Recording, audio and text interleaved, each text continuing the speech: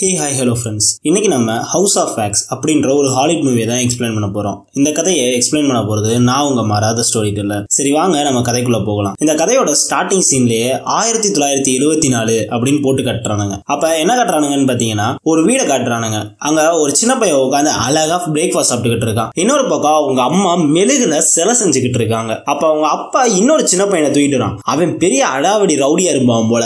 அங்கிட்டு இங்கிட்டு போட்டு அணத்திக்கிட்டே இருக்கான். அவனை கஷ்டப்பட்டு அந்த சேர்ல உட்கார வச்சு அவங்க அம்மா சாப்பாடு சாப்பிட வைக்கிறாங்க. அங்க சீனை கட் பண்ணா இப்ப நார்மல் டைம்ல எனக்கு கட்டுறானுங்க. இங்க ஃப்ரெண்ட்ஸ் ஒரு ஆறு பேர் நாலு பசங்க ரெண்டு பொண்ணுங்க. இவளுக என்ன பண்ண போறானுங்க? அப்படின்னு பார்த்தா இப்ப ஏதோ முக்கியமான பேஸ்பால் மேட்ச் நடக்க போதான். அந்த மேட்சுக்காக அவங்க ஃப்ரெண்ட்ல ஒருத்தன் டிக்கெட் புக் பண்ணியிருக்கான். அந்த மேட்சுக்கு போறோம் அப்படின்னு சொல்லிட்டு இவனுங்க ஆறு பேருமே கார்ல ஏறி ஒன்னா போயிட்டு இருக்கானுங்க இந்த ஆறு பேர்ல ரெண்டு காதல் ஜோடி இருக்கும். ரெண்டு பேர் தான் சும்மா நார்மல் ஃப்ரெண்ட்ஸா வரவனுங்க. இவனுங்க எல்லாம் கார்ல ஏறி அந்த பேஸ்பால் மேட்சுக்கு போகலாம் அப்படின்னு ரோட்ல டிரைவ் பண்ணி போயிட்டு இருக்கானுங்க அப்படி போயிட்டு இருக்கிறப்ப ரொம்ப நேரமா ட்ரை பண்ணிட்டு இருக்கோம் கொஞ்சம் நைட் ரெஸ்ட் எடுத்துட்டு அப்புறமேட்டு திரும்ப வண்டி எடுத்து ஓட்டுவோம். அப்படின்னு ஒருத்தர் சொல்ல அதனால காரை ஒரு ஓரமா ஒரு இடத்துல பார்க் பண்ணிட்டு அங்கேயே டென்ட்டை கட்டி ஆறு பேரும் கூத்தரிச்சுக்கிட்டு இருக்கானுங்க. அப்ப தூரத்துல இருந்து ஒரு கார் இவனுங்க மேல லைட் அடிச்சு மினிவே நின்றுகிட்டு இருக்கு. இவனுங்களும் யாரா நீங்க? உங்களுக்கு என்னடா வேணும்? இது என்ன உங்க இடமா? உங்க இடம்னு சொல்லுங்க. நாங்க வேணா கிளம்பி போயிடுறோம். அப்படின்றானுங்க. ஆனா அந்த கார்ல இருக்கிறவன்ட்டு இருந்து ஒரு ரெஸ்பான்ஸும் இல்ல. இவனும் என்னென்னமோ கேட்டு பாக்குறானுங்க. ஆனா அவன் எதுவுமே சொல்ல மாட்டேன்றான்.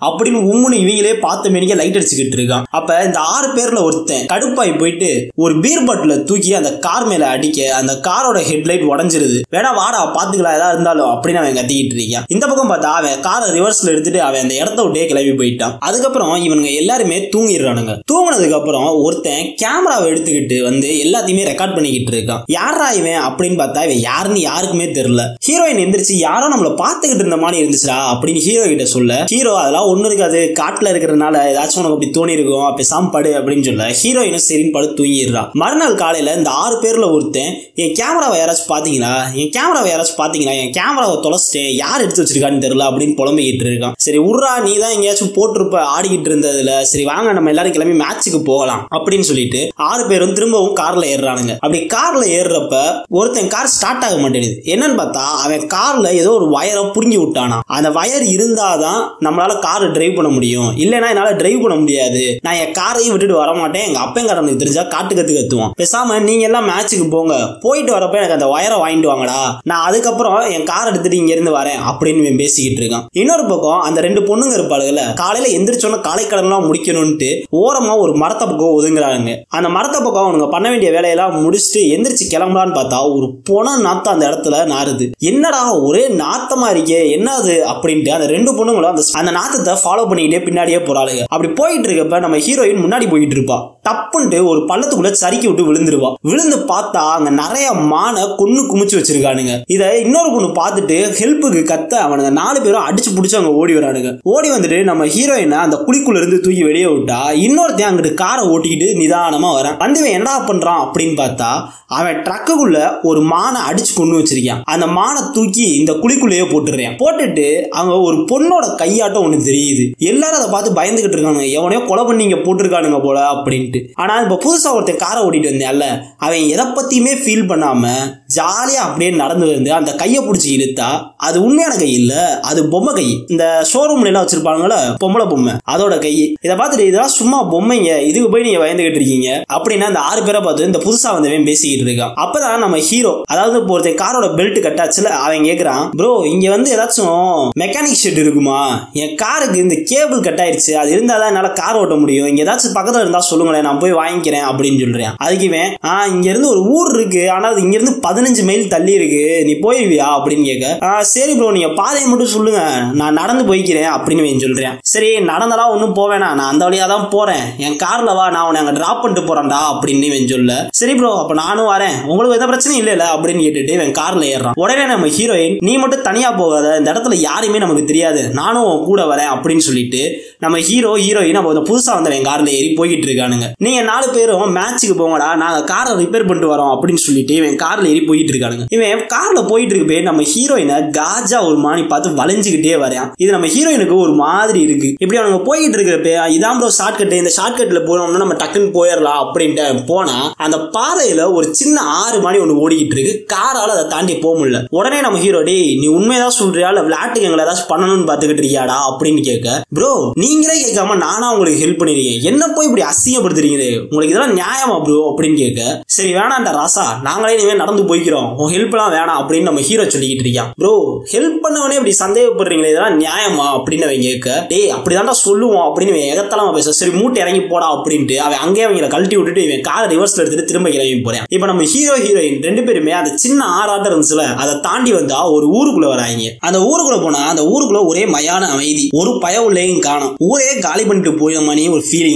அதனால நம்ம ஹீரோ ஹீரோயினும் எங்க போறது அப்படின்னு தெரியாம ஒரு மெக்கானிக் செட்டை தேடி அந்த மெக்கானிக் செட்டுக்குள்ள போறானுங்க. அந்த மெக்கானிக் செட் செட்டுக்குள்ள போனா அவனுக்கு தேவையான வயர் இருக்கு. ஆனா அவன் காருக்கு செட் ஆகுற மணி இல்ல. அதனால என்ன பண்றது அப்படின்னு தெரியாம அங்கங்கன்னு சுத்திட்டு ஒரு சர்ச்சுக்குள்ள போறான். ஏன்னா அறிவு இல்லாம திறந்த வீட்டுக்குள்ள ஏதோ வர மணி வர இங்க ஒருத்தர் இறந்துட்டாரா அவருக்காக இறுதி அஞ்சலி நடந்துகிட்டு இருக்கு. நீ வாட்டுக்கு உள்ள வர கொஞ்சம் கூட மேனஸ் இல்ல அப்படின்னு கத்திக்கிட்டு இருக்கான். ப்ரோ சாரி ப்ரோ தெரியாம நான் உள்ள வந்துட்டேன் அப்படின்னு நம்ம ஹீரோ சொல்ல சரி இங்கே வெயிட் பண்ணு. நான் உள்ள போய் வேலையெல்லாம் முடிச்சுட்டு வரேன் அப்படின்னு சொல்லிட்டு அவன் உள்ள போறான். உள்ள போயிட்டு ஒரு காமன் நேரம் கழிச்சு அவன் வெளியே வந்தா உங்களுக்கு என்னடா வேணும்? நீங்க இது ஊரே கிடையாது. இங்க வந்து என்னடா பண்ணிட்டு இருக்கீங்க? அப்படின்னு கேட்க ஏன் கார்ல பெல்ட் கட் ஆயிருச்சு ப்ரோ அது இருந்தால் தான் என்னால் காரை ஓட்ட முடியும். அந்த பெல்ட் கிடைக்குமான்னு பார்க்கறதுக்காக தான் இந்த ஊருக்குள்ளே வந்தேன். வந்து பார்த்தா ஒரே மயான அமைதியாக இருக்குது எங்கேயுமே அது கிடைக்கல ப்ரோ அப்படின்னு சொல்கிறேன் இதை கேட்டுட்டு சரி சைஸ் வேடா அப்படின்னு சொல்ல பதினஞ்சு இன்ச் ப்ரோ அப்படின்னு வேணும்னு சொல்லிக்கிட்டு இருக்கேன். இதை கேட்டுட்டு இங்கெல்லாம் அது கிடைக்காது. வேணா என் வீட்டுக்கு வா.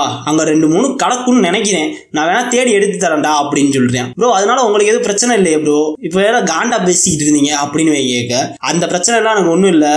ஒன்றும் இல்லடா. எனக்கு ரொம்ப க்ளோஸ் ஆனவங்க செத்து போயிட்டாங்க. அந்த கடுப்பில் தான் கொஞ்சம் கத்திட்டு சரி வா உன்னை நான் கூட்டிட்டு போறேன் அப்படின்னு ஹீரோ ஹீரோயின் ரெண்டு பேரையுமே அவன் கார்ல ஏத்திட்டு அவன் வீட்டுக்கு போறான். வீட்டுக்கு போனதுக்கு அப்புறம் ஹீரோயின் நான் கார்லயே இருக்கேன். நீங்க போய் அந்த பெல்ட் எடுத்துட்டு வாங்க அப்படின்னு சொல்ல இப்ப புதுசா ஒருத்தர் சர்ச்சுக்குள்ள இருந்து வந்தால அவனும் நம்ம ஹீரோவும் வீட்டுக்குள்ள போய் அந்த பெல்ட்டை தேடுறதுக்காக போயிருக்கானுங்க. அப்ப அந்த புதுசா வந்தவன் ஹீரோ கிட்ட ப்ரோ நீங்க வீட்டை சுத்தி பாத்துக்கிட்டு இருங்க நான் போய் பெல்ட் எடுத்துட்டு வந்துடுறேன் அப்படின்னு சொல்ல நம்ம நம்ம ஹீரோவும் வீட்டை சுத்தி பார்த்துக்கிட்டு இருக்கான். அப்ப நம்ம ஹீரோயின் காரை விட்டு இறங்கி காரை சுத்தி பார்த்தா ஒரு ஹெட்லைட் உடஞ்சிருக்கு. இன்னொன்னு இந்த காரை எங்கேயோ பார்த்துருக்கோமேடா அப்படின்னு யோசிக்கிறப்பதான் தெரியுது. அன்னைக்கு நைட்டு ஒருத்தன் ஒரு பாட்டில கொண்டு ஒரு கார்ல அடிச்சான்ல என் ஃப்ரெண்டுல ஒருத்தன். அது இந்த கார் தான். இதை தெரிஞ்ச உடனே நம்ம ஹீரோயின் ஹாரன் அடிக்கிறா. ஹீரோ அதை பார்த்துட்டு கீழே வரவான்ட்டு. இவ ஹாரன் அடிக்கிற சத்தம் கேட்டோடனே வீட்டுக்குள்ள ஹீரோ இருக்கிற ஒரு ரூம்ல லைட் ஆஃப் ஆயிடுது. லைட் ஆஃப் ஆனாலும் என்னடா ஆகுது அப்படின்னு பார்த்தா ஒருத்தன் மெழுகு மாஸ்க் மாதிரி உனக்கு போட்டுட்டு வந்து நம்ம ஹீரோவை அடிச்சு போட்டு ஒரு இடத்துக்கு இழுத்துட்டு போறான். இன்னொரு பக்கம் அந்த சர்ச்சில் இருந்து ஒருத்தன் வந்தால அவன் நம்ம ஹீரோயின் கிட்ட வந்துட்டு ஏமா இப்ப கதவை மூடி வச்சிருக்க? துறமா நான் உள்ள வரேன் அப்படின்னு சொல்ல. சரி ஹீரோ வந்தோடனே நம்ம போலாம் சார் அவன் வர வரைக்கும் வெயிட் பண்ணுவோம் அப்படின்னு சொல்ல அவன் உள்ளதாமா இருப்பான். வா நம்ம போய் காரை ரிப்பேர் பண்ணுவோம் அப்படின்னு சொல்லிட்டு இருக்கான்.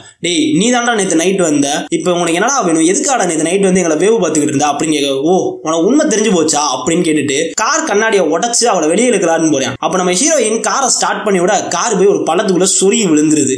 அங்கிருந்து நம்ம ஹீரோயின் தலைதறிக்க ஓடுனா இப்போ அவளை விரட்டிக்கிட்டே ஓடுறான். இப்போ நம்ம ஹீரோவை அடிச்சு இழுத்துட்டு போய் அவனை என்னடா பண்ண போறாங்க அப்படின்னு பார்த்தா வாயில கம்மை ஊத்தி விட்டு வாயை திறக்க முடியாத அளவுக்கு செஞ்சுட்டாங்க. அதுக்கப்புறம் நம்ம ஹீரோ ஹீரோவை ஒரு சேர்ல உட்கார வச்சு அவன் மேல ஒரே மெழுகா அடிச்சுக்கிட்டு இருக்கானுங்க. அவனை ஒரு மெழுகு சிலையாவே மாத்தலாம் அப்படின்ற மாதிரி அவன் என்னத்தையோ பண்ணிக்கிட்டு இருக்கானுங்க. இன்னொரு பக்கம் இப்ப அந்த நாலு பேர் மேட்ச் பாக்குறதுக்காக போனானுங்கள அவனுங்க டிராபிக் உள்ள மாட்டிக்கிட்டனால மேட்ச் நடக்கிற ஸ்டேடியத்துக்கு ஒழுங்கா போக முடியல. அதனால திரும்ப ஒரு இடத்துல போய் டென்ட்டை போட்டு அங்க படுத்து கிடக்குறாங்க. அந்த காதல் ஜோடி மட்டும் நாங்க வரல நீங்க ரெண்டு பேரும் போய் நம்ம ஹீரோ ஹீரோயின் ரெண்டு பேரையும் பார்த்து எங்க இருக்காங்கன்னு கூட்டிட்டு வாங்கடா. அந்த பெல்ட்டையும் வாங்கிட்டு வந்துருங்க வரப்ப. அதுக்கப்புறம் நம்ம கிளம்பி போகலாம் அப்படின்னு சொல்றேன். அதனால இவங்க ரெண்டு பேரும் மட்டும் காரை எடுத்துக்கிட்டு அந்த ஒருத்தன் மானை தூக்கி போட்டு அல்ல அந்த குழிக்குள்ள அவன் சொன்ன பாதையில வந்துகிட்டு இருக்கானுங்க. அப்படி வந்துகிட்டு இருக்கிறப்போ ஊரால ஒரு சின்ன ஆறு மணி போகுதுன்னு காரை அங்கேயே விட்டுட்டு இவனுங்க ரெண்டு பேரும் நடந்து அந்த ஊருக்குள்ள வரானுங்க. இந்த பக்கம் பார்த்தா அவன் இருந்து தப்பிச்சு ஓடணும்னு நம்ம ஹீரோயின் எங்க போறா அப்படின்னு பாத்தீங்கன்னா சர்ச்சுக்குள்ளேயே போயிடுறா சர்ச்சுக்குள்ள போய் அவன்கிட்ட ஹெல்ப் கேட்கலாம் அப்படின்னு பார்த்தா எந்த நாய் அசைறதாவே தெரியல. ஒருத்தன் கையை தொட்ட உடனே அந்த கை பிஞ்சு கீழே விழுந்துருது. என்னன்னு பார்த்தா எல்லாருமே சிலை மெழுகு சில. மனுஷனா இருந்தவங்க தான். அவங்க மேல உயிரோட இருக்கிறப்ப மெழுக பூசி மெழுகு பொம்மையாவே மாத்தி வச்சிருக்கானுங்க. இதை பார்த்துட்டு நம்ம ஹீரோயினுக்கு அல்லு இல்ல. எங்க ஓடுறதுன்னு தெரியாம பாதிரியார் பாவாடைக்குள்ள போய் ஒளிஞ்சுக்கிறான். இப்போ ஒருத்தன் அவளை விரட்டிட்டு வந்தால அவன் கரெக்டா வந்து எங்க இருப்பா? அப்படின்னு தேடிக்கிட்டு இருந்துட்டு பாதிரியார் பாவாடைக்குள்ள இருந்து அவளை பிடிச்சி இழுத்துட்டு போய் ஒரு இடத்துல கட்டி போட்டு அவ வாயிலையும் கம்ம போட்டு வைக்கிறான். இந்த பக்கம் அந்த ரெண்டு பேர் தேடிட்டு வந்தாங்கல்ல நம்ம ஹீரோ ஹீரோயினை. இவனுக்கு ரெண்டு பேருமே சரி நீ இந்த பக்கம் போ நான் இந்த பக்கம் போய் தேடுறேன். தேடுறேன் நம்மளுக்கு யார்ட்டாச்சும் ஒரு ஆள் கிடைச்சிருச்சுன்னா ஃபோன் பண்ணி சொல்றா அப்படின்னு சொல்லிட்டு இவனுக்கு ரெண்டு பேரும் பிரிஞ்சு போய் தேடிக்கிட்டு இருக்கானுங்க. அந்த ஒருத்தன் பீர் பாட்டில் கொண்டு கார்ல அடிச்சான்ல அவன் இந்த சர்ச்சுக்குள்ள இருந்து வந்தவன்ட்ட போயிட்டு இங்க ரெண்டு பேர் வந்தாங்களா?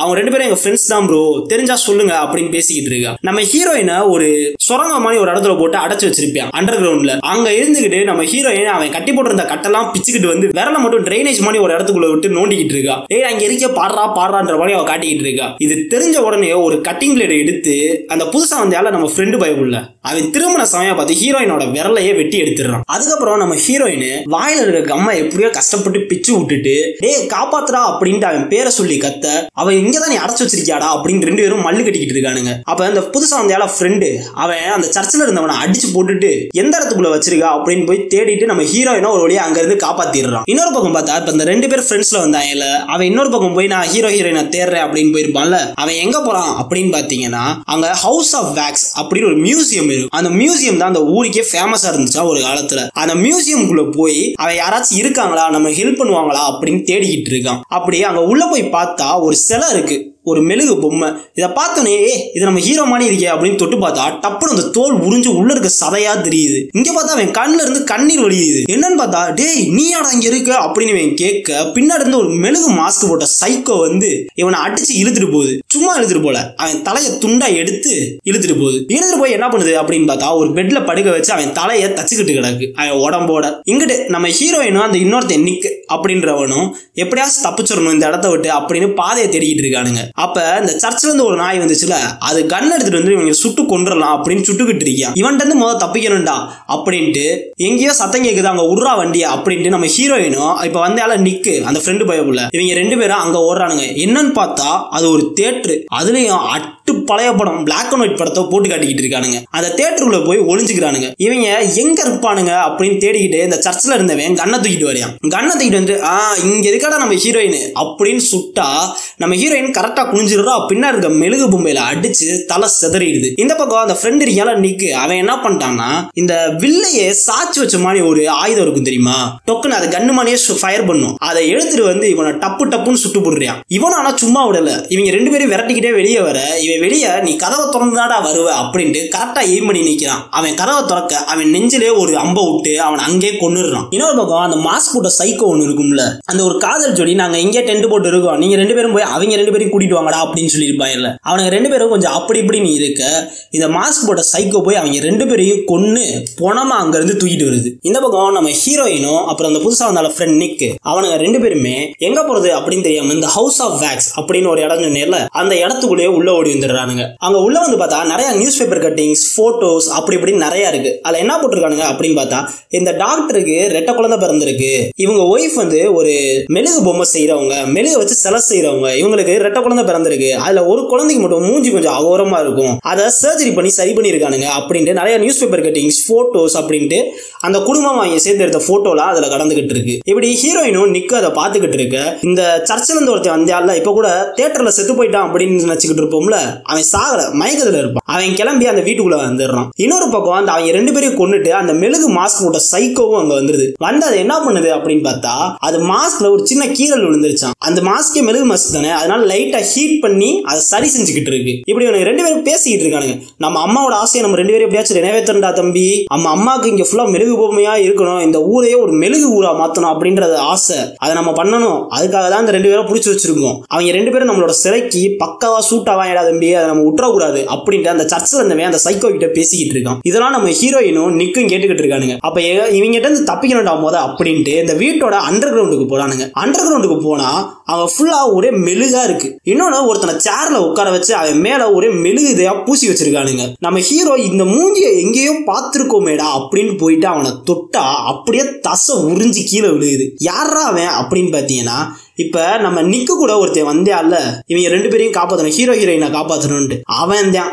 அவன் தலையை வெட்டினால அதை தச்சு வச்சு இப்ப மெழுக ஊத்தி மெழுகு பொம்மையா மாத்தி வச்சிருக்கா. இதை பார்த்தோன்னே நம்ம ஹீரோயின் ஒரு மாதிரி அழுக ஆரம்பிச்சிடுறான் கீழே ஏதோ சத்தம் கேட்குது அப்படின்னு சொல்லிட்டு அந்த சைக்கோ கீழே வந்து பார்த்தா நம்ம ஹீரோயினுக்கும் அந்த சைக்கோக்கும் சம சண்டை. அந்த சண்டையில என்னென்னத்தையோ போட்டு அடிச்சு உடைக்க கீழே இருந்த அடுப்பு ஃபுல்லா எரிய ஆரம்பிச்சிருது. அந்த இடமே தீப்பிடிச்சு ஒரு மாதிரி எரிய ஆரம்பிச்சிருது. இன்னொரு பக்கம் அந்த நிக்குக்கும் அந்த சர்ச்சில் இருந்து வந்தால அவனுங்க ரெண்டு பேருக்கும் ஒரே சண்டையா போயிட்டு இருக்கு அந்த சர்ச்சில் இருந்து வந்தவன் அந்த நிக்கோட காலில் கத்தி எடுத்து சொருகி விட்டுறான் சொறி விட்டதுல அவன் ஐயோ கால் போச்சே அப்படின்னு கத்திக்கிட்டு இருக்க இவன் இன்னொரு அம்ப கையில வச்சிருப்பான் அந்த நிக்கு பய உள்ள. அதை எடுத்து அந்த சர்ச்சில் இருந்தால அவனோட நெஞ்சிலே இன்னொரு தடவை குத்த அவன் அப்பதான் ரத்த ஓவர் ஃப்ளோயை அங்க செத்து போயிடுறான். இன்னொரு பக்கம் நம்ம ஹீரோயின் ஓட அந்த சைக்கோ விரட்ட அந்த வீட்டுக்குள்ளேயே ரெண்டு பேரும் ஓடி பிடிச்சு விளாண்டுகிட்டு இருக்கானுங்க. அதுக்கப்புறம் எங்க ஓடுறது அப்படின்னு தெரியாம மாடியில ஒரு பெட்ரூம் இருக்கும். அந்த பெட்ரூம்குள்ள நம்ம ஹீரோயின் ஓடி போயிடுறான் இந்த சைக்கோவும் அதை விரட்டிக்கிட்டே ஓடுறான் அப்பதான் எல்லாருக்கும் புரியுது இந்த வீட்டோட பேர் ஏன் ஹவுஸ் ஆஃப் ஃபேக்ஸ்னு வச்சிருக்கான்ட்டு கீழே நெருப்பு எரிய இந்த வீடு உருக ஆரம்பிச்சிருது. ஏன்னு பார்த்தா இந்த வீடு செங்கலாலையும் சிமெண்டாலையும் செய்யப்படலை. இது செய்யப்பட்டதே மெழுகால தான் இது உருக ஆரம்பிச்சது இதை பார்த்துட்டு அந்த நிக்கு பயந்து போயிருச்சா. என்ன இளவலோட அதெல்லாம் பண்ணிக்கிட்டு இருக்கீங்க அப்படின்னு அவன் மாதிரி பயந்து போய் பார்த்துக்கிட்டு இருக்கான். இன்னொரு பக்கம் நம்ம ஹீரோயினை அந்த சைக்கோ விரட்டிக்கிட்டு அந்த பெட்ரூமுக்கு ஓடிட்டான். இவனும் பின்னாடியே ஓட நிக்கும் பின்னாடியே ஓடிக்கிட்டு இருக்கான். அப்ப நம்ம ஹீரோயினை அந்த சைக்கோ கிட்ட என்னென்னமோ நல்ல விதமா பேசுறான். டேய் நீ நல்லவன்டா. உனக்கு இதெல்லாம் தேவையில்லடா. அவன் தாண்டா கொலை பண்ணிக்கிட்டு இருக்கா நீ ஒரு ஆர்டிஸ்டா நீலாம் ஒரு கலைஞன்டா. நீலாம் கொலை பண்ணலாமா? அப்படின்னு கேட்க அந்த சைக்கோ விடுறதா தெரியல. நம்ம ஹீரோயினை எப்படியாச்சும் குத்தி கொண்டுடலாம் அப்படின்னு ட்ரை பண்ணிக்கிட்டு இருக்கா. அந்த டயத்துல நிக்கு ஓடி வந்து அந்த சைக்கோ மேல ஒரே எத்து. அவன் அங்க இருந்த பெட்ல விழுந்தான். அந்த பெட்டு பிஞ்சு கீழே விழுந்துருது. என்னன்னு பார்த்தா அந்த பெட்டு கூட மெழுகுதான். இவன் அப்படியே கீழே விழுந்து அந்த மெழுகு வீடே உருகிக்கிட்டு இருக்கு. அதுல எரிஞ்சுக்கிட்டு இருக்கானுங்க. அந்த வீட்டுக்குள்ள இருக்கிற சில ஃபுல்லா உருகி போன பார்த்தா எல்லாமே மனுஷங்க தான் ஒன்னு கூடி சிலை இல்ல. மனுஷங்க மேல பெழுக பூசி தான் இவன் சிலையா வச்சிருக்கானுங்க. அது ஃபுல்லா எரிஞ்சு அந்த இடத்தையே உருகி சாம்பலாகிட்டு இருக்கு இன்னொரு பக்கம் நிக்கு ஹீரோயினும் முதல் இந்த வீட்டை விட்டு எப்படியாச்சும் தப்பிக்கணும் அப்படின்னு சொல்லிட்டு அந்த உருகிட்டு இருக்க வீட்டுல மாடியில இருந்து கீழே தப்புனா கரெக்டா அவர் ரோட்ல விழுந்துடுறாங்க. இந்த பக்கம் அந்த வீடே உருகி போய் கிடக்கு. அதுக்கப்புறம் மறுநாள் விடிய இவங்க ரெண்டு பேரும் போய் போலீஸுக்கு கால் பண்ணுறாங்க போலீஸுக்கு கால் பண்ணி வந்து பார்த்தா ஹாஸ்பிட்டல்ல இருந்து ஆம்புலன்ஸ் எல்லாம் வர வச்சு இவங்களுக்கு ஃபர்ஸ்ட் எய்ட் கொடுத்துக்கிட்டு இருக்கானுங்க. அப்பதான் ஒரு போலீஸ் கேட்கிறான் இவனுங்க ரெண்டு பேரும் செத்துட்டானுங்க அப்படின்ட்டு கன்ஃபார்ம் பண்ணிக்கிட்டு இருக்கான் நம்ம ஹீரோயின் கிட்டயும் நிக்கு கிட்டயும் வந்து. இவனுங்கள கன்ஃபார்ம் செத்துட்டானுங்க சார் அப்படின்னு சொல்லிக்கிட்டு இருக்கானுங்க அப்பதான் அந்த போலீஸ்காரே ஹாஸ்பிட்டலுக்கு கால் பண்றான். கால் பண்ணி இந்த வருஷம் இந்த மாதிரி ரெட்ட குழந்தைங்க பிறந்துச்சுல ஒரு டாக்டருக்கும் ஒரு மெழுகு சிலை செய்யற பொம்பளைக்கும் அந்த ரெண்டு பேரோட அப்பா அம்மா எங்க அப்படின்னு கேக்குறேன். அதாவது அந்த டாக்டரும் மெழுகு சிலை செய்யற பொம்பளையும் எங்கன்னு கேக்குறேன். அவங்க ரெண்டு பேரும் எப்பயோ செத்துட்டாங்க சார் அப்படின்னு அந்த அந்த ஹாஸ்பிட்டல் இருந்து பதில் வருது. சரி இவனுங்க ரெண்டு பேருமே செத்துட்டானுங்க. இதே லிஸ்ட்ல சேர்த்துக்கங்க அப்படின்னு சொல்ல. அந்த மூணாவது எங்க சார் போனேன் அப்படின்னு அந்த ஹாஸ்பிட்டல் இருந்தவே கேக்குறேன். இப்பதான் ஒரு டிஸ்ட ரிவீல் பண்றாங்க. நம்ம ஹீரோயினும் நிக்குன்றவனும் ஆம்புலன்ஸ் ஏறி போய்கிட்டு இருக்க அந்த ஒருத்தர் ஸ்டார்டிங்ல மான கொண்டு குழிக்குள்ள போட்டால அவன் அவங்கள பார்த்து டாட்டா கட்டிக்கிட்டு இருக்கான். இப்பதான் நம்ம ஹீரோயினுக்கு சிங்க் ஆகுது. இவன் தான் அந்த மூணாவது குழந்தையா? இவன் தான் நம்ம எல்லாரையும் இங்கே ட்ராப் பண்ணி விட்டுருக்கான்ட்டு. இந்த இடத்துல தேங்க்ஸ் கார்டு போட்டு டேரக்டர் படத்தை முடிக்கிறாப்புல. இந்த வீடியோ உங்களுக்கு பிடிச்சிருந்துச்சுன்னா லைக் பண்ணுங்க கமெண்ட் பண்ணுங்க. அப்புறம் உங்க ஃப்ரெண்ட்ஸ் அண்ட் ஃபேமிலிக்கு ஷேர் பண்ணுங்க. மறக்காம நம்ம சேனலை சப்ஸ்கிரைப் பண்ணிடுங்க. தேங்க்யூ